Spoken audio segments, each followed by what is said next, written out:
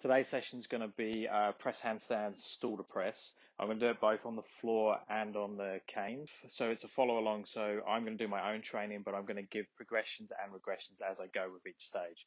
So I'm going to jump in with a warm up. Ready to follow along with this, you have to have a freestanding handstand and have some control in the straddle to be able to do probably eccentric uh, press. Um, and I'm going to go all the way through to a stalder press. So standard warm up, I'm just going to warm the wrists, the shoulders up, um, and the straddle flexibility. So just quick wrist prep. Obviously do whatever you need to do to warm your wrists up. It's going to uh, be different for everybody.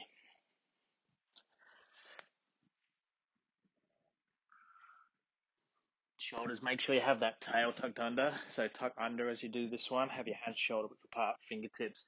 Look at the fingers, keep the toes pushed into the floor.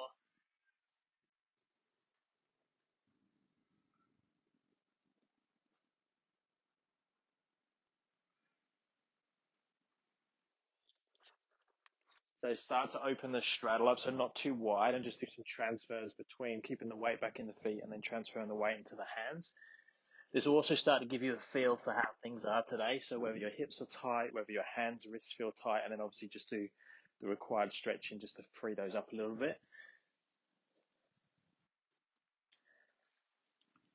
So notice when I do this one, how much I'm pushing through my upper back. So how much is like the protracted, like a planchy type feel without going too far forwards.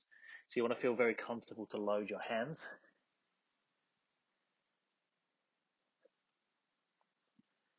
And if you have it, start to do a few little floats there as well, if you feel comfortable with that.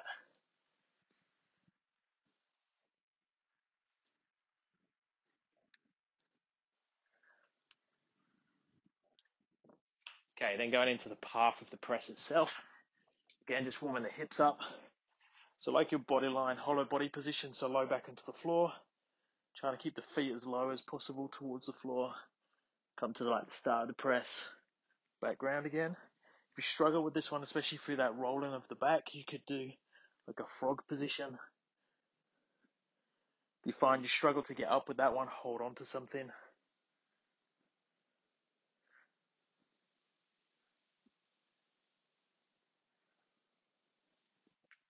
Okay, then warming the handstand up. So warming up your entries, so kick ups. First handstand of the day. See how it feels.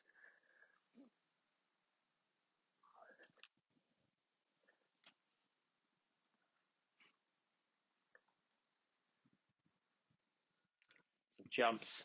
Ideally jump through the press pattern you're going to do. So if you're going to go into some straddle work, do straddle press. If you can do some tuck work, uh, do tuck jumps.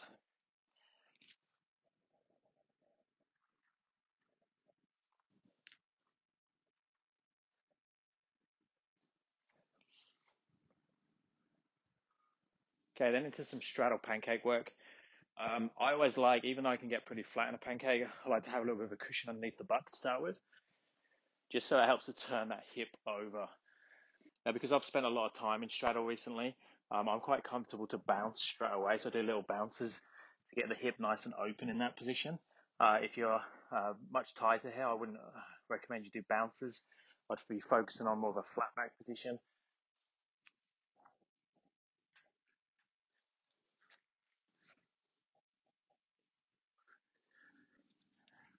So what I recommend you do with your pancake work when you're not specifically doing a pancake stretching session, I'd make sure that you get um, to your maximum depth that you normally get to.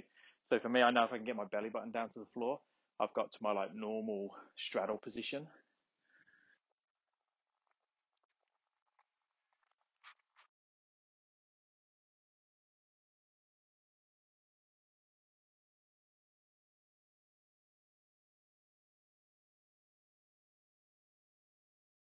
Okay, next I'm going to try an eccentric press just to see how everything feels like. I'm going to go as slow as I can.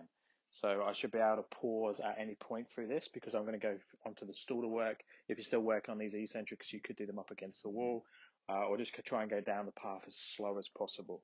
So enter any way you like. And then I'm going to slowly open to my straddle position. Turn the hip over slowly push up and back with the upper back, mid back, and then finish, tippy toes, kissing the floor. So that's the big bit most people struggle with is that, that bottom section, that bit where I'm just kissing the toes. Then back to straddle L-sit work. So instead of the straddle, I've warmed that up now. If you need to do that more, uh, do more straddle stretching, but also start to work your active position. So you could do this in different ways. You could do the straddle lifts, so this type of thing. You could do it in pike, so working more compression work, or you could actually do the straddle hold itself. So you could go L sit, straddle hold. You could push up from the floor if you have it. So trying to hold, that was not a good example, trying to hold in the straddle position. So my hips are tight. I need to work on that, but I can hold a straddle position. You can tell by my voice. It's a bit harder.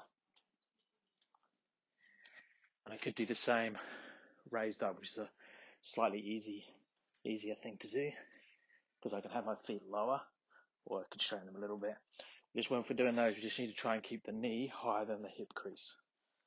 Okay, next I'm going to try and add both together. So I'm going to go through my eccentric uh, press and finish in my straddle L sit. So if you don't have those, do them separately. Do an uh, eccentric straddle press and then do a straddle L sit hold. Now I'm going to purposely, because I tend to fall back, especially when I'm not too warmed up, I'm going to purposely touch my toes to the floor and keep my toes on the floor as I come through in that straddle L. So show control here. Start to open through the straddle, start to turn the hip over. Pushing up as hard as I can now. Until my toes kiss the floor. Keep leaning forwards. Now I lift the toes.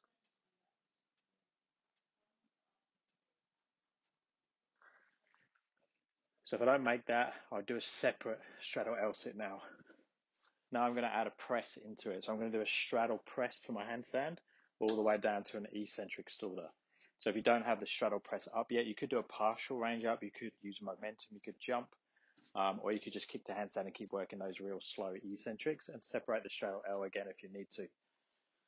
So I'm going to press up. I'm going to try and show as much control as I can and make it as clean as possible throughout the movement. So I should be able to hold a conversation while I'm doing this because I want to try and keep this sub-maximal so I can really just work on technique, rolling the hip down, pushing as hard as I can.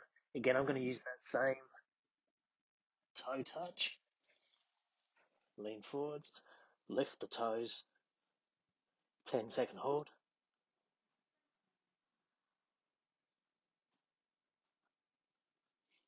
And lower back down.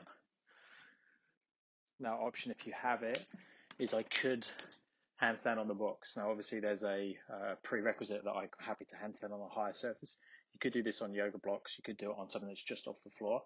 But the idea is we create a bit more space. So you could go down a little bit quicker and you can also use a bent knee as you go down. So you could do that same thing. You could press up. Oh, wobbly box. And then from here, I bend the knees a little bit, push up, and then come down to my straddle L. So it's a little bit easier, especially if you've got the strength but don't quite have the flexibility or the active range. So I now feel comfortable to, to go through a full rep, but I'm going to start in that straddle L. So start from my feet, go back into it that way because I find that easier. And then I'm going to do a full stalder press. I'm expecting my toes to drag they normally do, so I need to work on that uh, active flexibility through there. If you're not up to this level of actually going up, still just work on those eccentrics.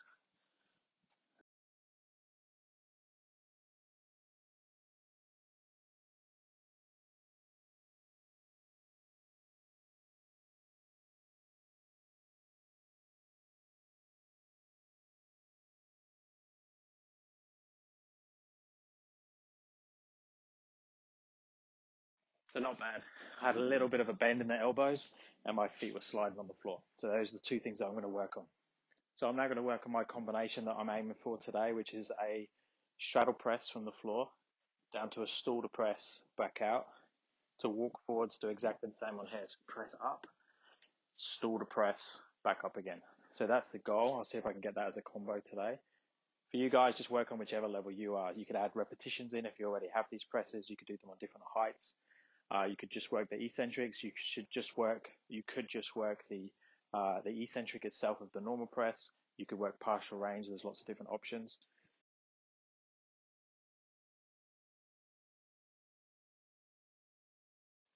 So let me know if you have any questions. I'll be interested to know which variation of the workout you could do.